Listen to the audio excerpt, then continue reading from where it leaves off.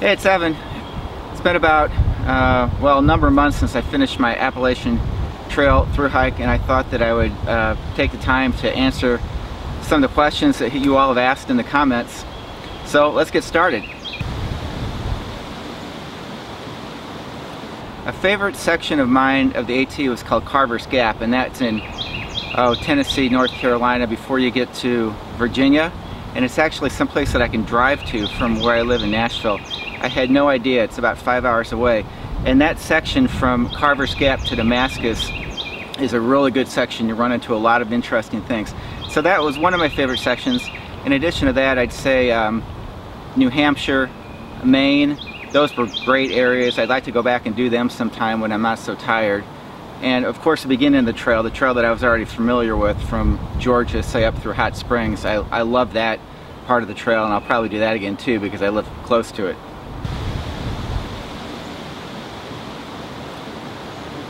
I think I've come to understand that there's sort of a cult of through hiking where through hiking is given maybe more attention than it really deserves.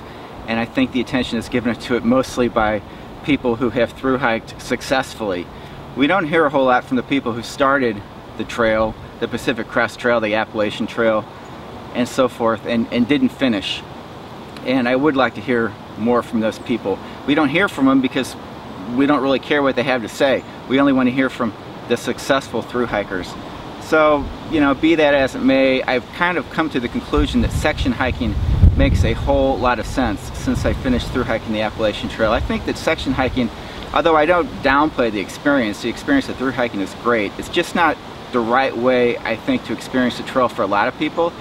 And I think that section hiking where where you go from here to there and then you wait some time and you pick up again and you continue on the trail makes a whole lot of sense for a whole lot of reasons.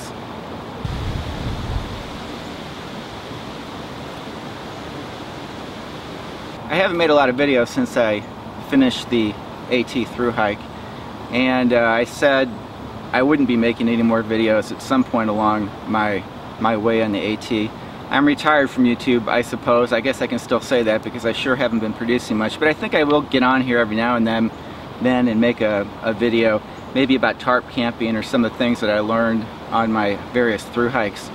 The one video that I did about uh, tarp camping, why I like it, I think it's called No Tent, No Hammock, Why I Like a Tarp, something like that has more views than almost any of my other videos that I've done. So for some reason there's a new interest in tarp camping and maybe I'll try to take advantage of that a little bit and help some people out.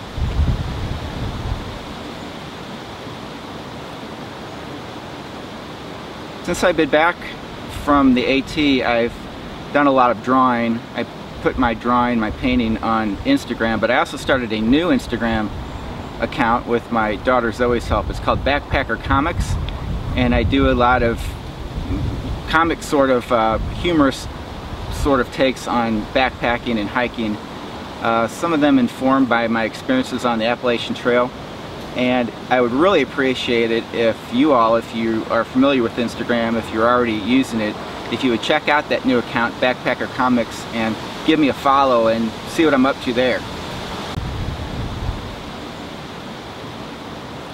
And speaking of Backpacker Comics, I wanted to do uh, something there having to do with mishaps on the trail.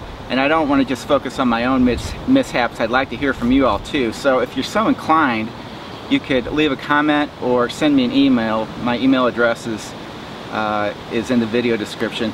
Tell me about some of your mishaps on the trail. It doesn't have to be something big, it can be about how you spilled hot water on your hand and, and got a blister or it can be getting lost. It can be something big, it can be something little, and I think I'll take some of those and uh, some of those mishaps and do something with it. I will uh, give you a citation, I'll give you a credit uh, in the in the description. If you don't want a credit, then let me know and I'll and you can be anonymous.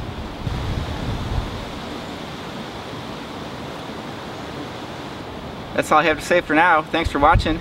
Uh, this has been fun to do. See you on the trail. I'm not going to say that.